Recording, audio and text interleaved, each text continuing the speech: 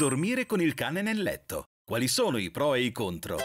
Ogni animale necessita del proprio spazio dove riposare senza essere disturbato. Posizioniamo la cuccia in un posto appartato, ma pur sempre vicino al nucleo familiare. Il cane è un animale gregario come l'uomo, quindi l'isolamento sociale non fa parte della sua natura. Necessita di condividere quotidianamente momenti di vita con il nucleo familiare.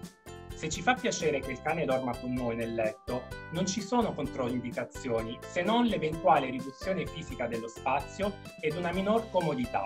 Ricordatevi sempre di essere coerenti. Una volta che avete deciso di farlo salire sul letto, concedeteglielo sempre. I cani infatti non possono comprendere i comportamenti incoerenti tipici della specie umana. Rispettare le regole significa essere delle ottime guide per il nostro cane.